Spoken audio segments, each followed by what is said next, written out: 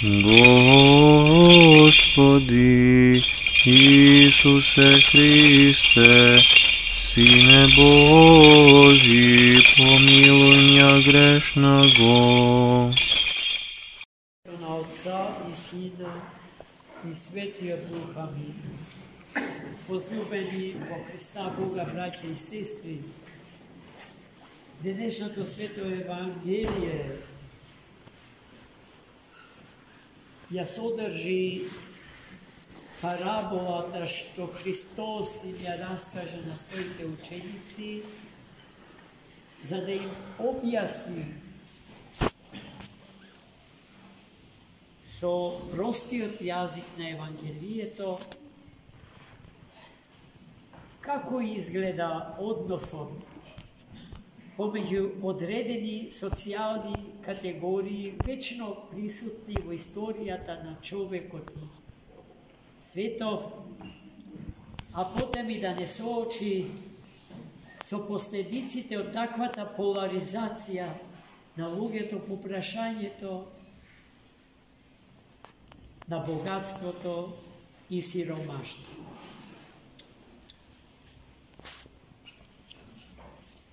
Во еден град in veli Hristos živeješ in je mnogo bogat človek. Živeješ je v razkošen dvorec, oblečen v cvila i porhivi. Nemaš je nešto što ke posakaš ja da god nima. Неброени слуги, ги, задов... ги задоволува сите негови потреби и тој уживаше во својата слава, во своето богатство. Целиот обседнат од себе самиот и мислејќи само за себе си и ниту за еден друг околу себе. Во истото тоа време, пред портите на неговиот дворец, живееше сиромашниот Лазар. Целиот болен, сгрчен, неподвижен, лепрозен, гнојав,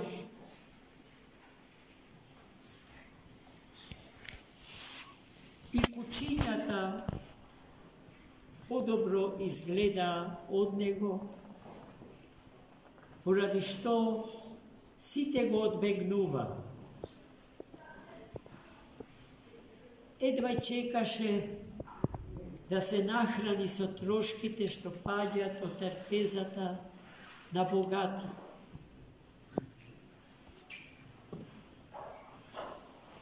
Единствената утеха му беше тогаш кога кучињата доаѓа и ги лижеа неговите гнојни рани со намера да му ја намалат болката и страданија.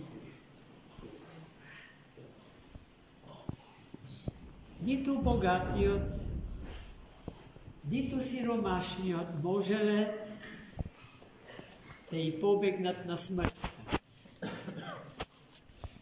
Најпрво умрел сиромашниот Лазар. Бидејќи сите се откажале од него и немало кој да се грижи за него, за грижата за него ја презеле светите ангели и тие уште веднаш го вселил во рајските градини од царството на Троедниот Бог. Во лоното Авраам, каде што доби се што живејќи на земјава Немаше. Во духовна смисла се разбира. Умре, се вели во параболата и богат.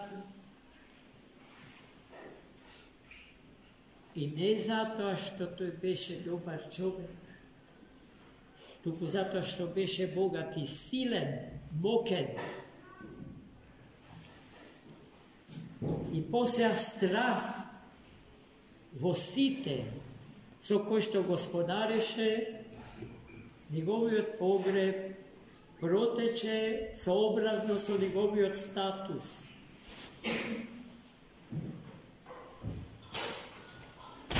Ама откако го напушти овој свет, не се настани во пределите рајски, заедно со сиромашниот Лазар.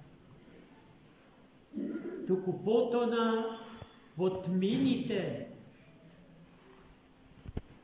пекони каде што имаме целосно отсуство на светлина и љубов, целосно отсуство на вистина и добрина. И тој пак сега го вкусуваше се она што сиромашниот Лазар го живееше, додека тој живееше раскошен живот. И во еден момент тој го здогледал праотецот Авраам, таткото на старозаветниот избран народ, стариот Израил. И крај него,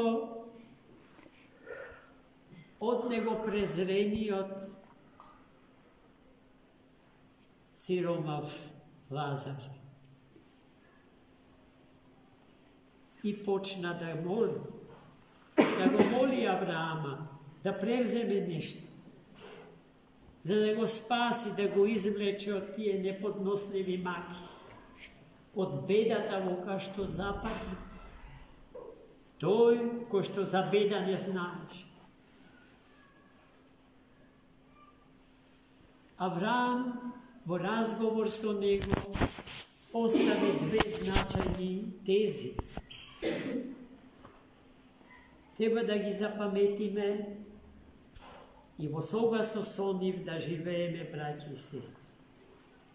Ти му вели, си ја, добри, си ја доби својата награда на земја. И бидејќи се таму потроши, сега ги вкусуваш сиромаштвото, страданието, маките, кои што нималку не се едноставни и лесни за носење, но тогаш ти, живејќи ја сета своја слава и богатство, нито еднаш не се сети на овој Лазар, кој што живееше покрај Твојот, покрај портите на твојот дворец и ти се којдневно поминуваше покрај него, третирајќи го како предмет. Не покажувајќи ни трошка љубов и почит кон човекот кој што страдаше како икона жива на живиот Бог. А сега, Тој кој што така страдаше, си ја прима својата небесна награда, што ти, безумно живеејќи, ја загуби. Браќи и сестри, треба ли тука да се задржеме? Како треба да живееме сега и овде? Дали треба грешката на богатиот да ја повтори? а дали нешто ќе ни недостасува. Ако го возлюбиме и ближниот наш, кој што страда, носејќи гнојни рани, напати крвави рани на себе си,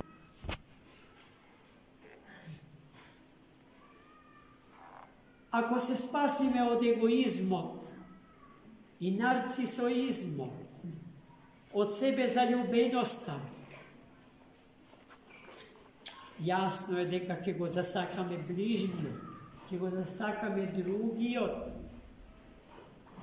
И таа љубов кон ближниот, односно кон другиот, е безусловна.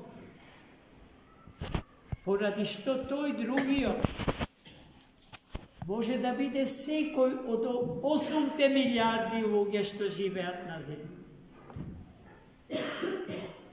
Не би сакал да ги повторам еден куп социолошки флускули и фрази што под на таа тема се користа. Раса, статус, старост, нација и се други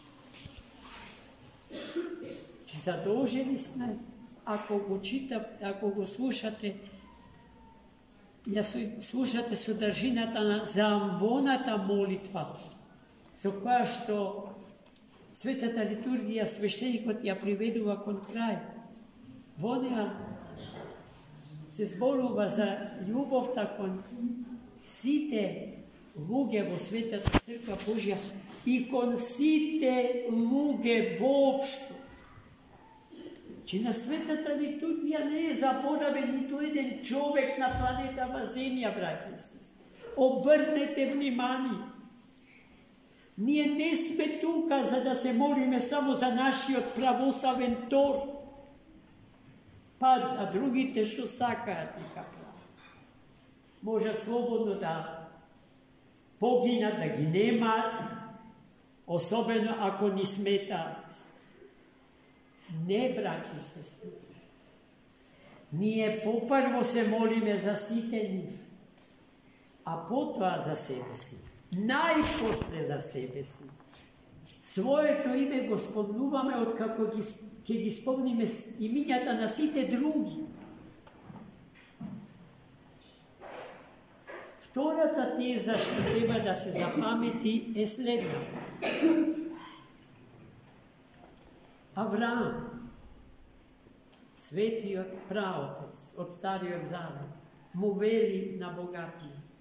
Освен тоа му вели, помеѓу тебе и нас постои непремостнив онтолошки онтолошка празнина Неа со ништо не, може, не можеме да ја прескокнеме. Ниту вие кога сакате да дојдете кај нас, ниту ние ако сакаме да дојдеме кај вас. Тоа е тој онтолошки амбис, која што големината на таа празнина што стои помеѓу нас, оние што го ги населиле рајските градини и оние кои што потонале во темнината и целосното отсутство на светлина во Адом. Не може да се измери ниту со метри, ниту со километри, ниту со часови, ниту со секунди, Едноставно станува збор за безпросторни простори и за безвремено време. И тука помош нема. А едните се нашле таму, а другите онаму по свој собствен избор. Слободно. Никој никого не го присилил на то. Ако Лазар посакал да биде како, како богатиот, Зарем не постоеше можноста да биде најмалку богат ко него, а може би и побогат? А што ако богатиот посакаше да живее како Лазар? Ке се најдеше ли сила што ќе го спречи таквиот негов избор? Гарант на таа слобода во изборот е нашиот Создател, животодавец и Спасител, Христос. Затоа, браќи и сестри, барањето некој отпосле да ни подаде рака е безмислено и утописко. Бидејќи на барањето на богатиот Лазар со намокрен прст да отиде и да му го развади јазикот. Или кој било друг некој тоа да го направи со него. Господ го соочи со неможноста од тој чин.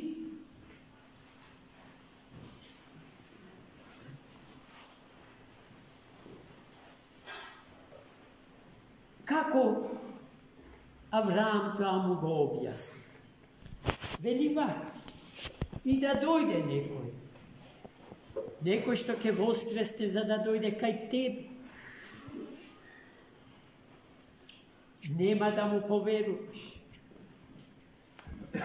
Ако не си им поверувал на Мојсеја, односно законите Божи и на светите пророци, тогаш нема шанса на некој, кој годе човек, да ти дојде и да му поверуваш.